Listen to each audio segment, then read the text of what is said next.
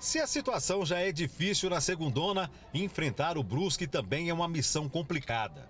Na história dos dois times, o Vila Nova ainda não venceu o adversário jogando em casa. Mas se conseguir os três pontos, deixa a zona do rebaixamento e dá um salto na classificação da competição. A tabela de classificação da segundona está bastante tumultuada. Apenas dois pontos separam o Vila Nova, que está em 18º colocado, do Sampaio Correia, que ocupa a oitava posição. Por isso, uma vitória nesse momento é muito importante para dar moral ao time e aliviar um pouco a pressão que vem da arquibancada.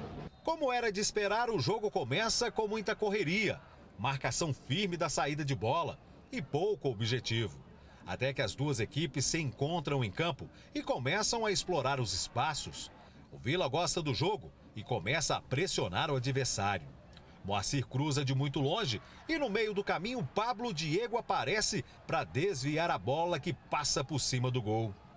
Depois teve mais dois lances dentro da área mas ninguém consegue concluir. E o Brusque, só lá para os 26 minutos, consegue chutar para o gol. Pressionando, o Vila Nova consegue boas oportunidades. Mas dentro da área, Mateuzinho, Pablo e Wagner, ninguém consegue concluir. E nesse cruzamento pela direita, Daniel Amorim na última trave mete a cabeça na bola e Jordan aparece e evita o gol. O lance faz o Brusque acortar em campo. Lançamento pela esquerda, Pará acredita no lance, consegue o cruzamento e Alexandro mete a cabeça e assusta o goleiro Tony.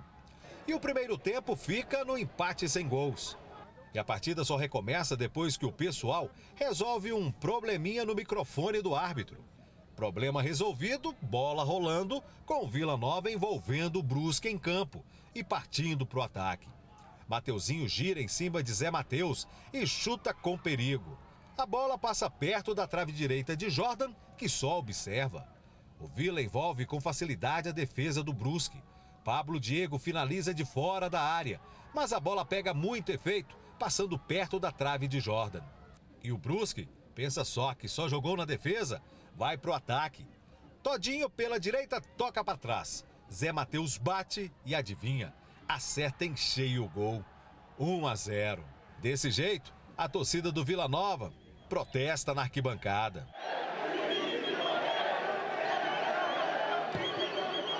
E quando a fase tá daquele jeito, Pará cobra a falta pela direita. E adivinha, a bola é desviada e Daniel Amorim faz contra.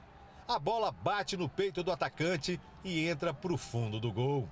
Sabe de uma coisa? É melhor acabar logo com o jogo, senão o Brusque ainda faz mais um. Melhor mesmo é passar logo no vestiário e saber se a derrota tem alguma explicação.